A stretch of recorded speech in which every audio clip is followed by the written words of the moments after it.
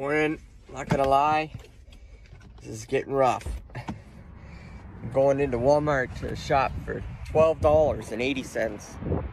And then I have to go take this delivery, which is probably close to like another 15 minutes.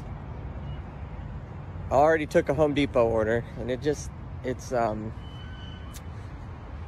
I need to be focusing on real estate. Suggestions? like, there's no point in going to the office because, like, what am I to do there? I don't know of anything going on. There's no meeting today. There's no meeting tomorrow. Like, I can't, I can't learn anything unless somebody's there, and I don't know if anybody's there. This person's having spaghetti tonight. having some spaghetti. Okay, update on my million dollar buyers. So sadly, the one decided to put an offer in himself. So he just, it's like his fifth home, he said, and he was like, yo, I got this. And I was like, all right. So that kind of sucks, but he's interested in investment properties in the future. So I said, I be, I be your guy.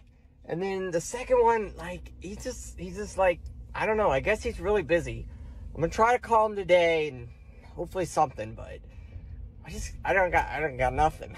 TikTok is bombarded with all these fancy people in their fancy clothes and their fancy conferences and their cool cars and all this. And I'm just like, that's not the real life most people real estate journey. So I just I just wanted to be as true as I can here because it's a struggle. Like you you either have to have like 6 months savings in your bank just chilling to pay all your bills. Like I don't know who has that kind of money to just chill there. And then hope that nothing happens like medical bills, life, car, anything, house burns down. You know, none of that has to happen in your life for six months. So you have to have this money sitting there and then it has to be your life has to be perfect then you're okay to like actually invest a thousand percent of your energy into real estate.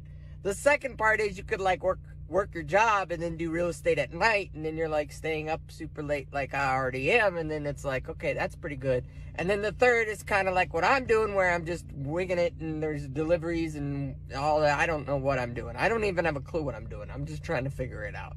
So basically what I'm trying to say is this flashy smashy stuff that like I will get to someday. I will. I will. You you will see us. So please like, follow, share right now because you're gonna see it from zero to hero.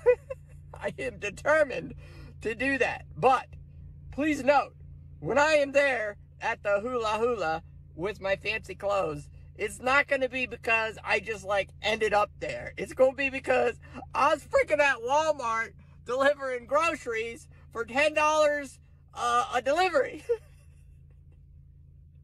and then at night, studying and researching the markets and figuring it out and starting all this.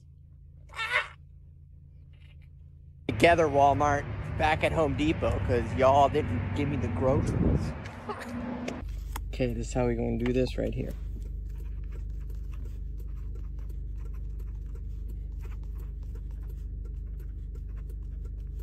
Walmart, you may have redeemed yourself. It looks like you're just gonna give me an extra 16 bucks for taking one order out. And you get paid me for what I already waited 45 minutes for. Thank you.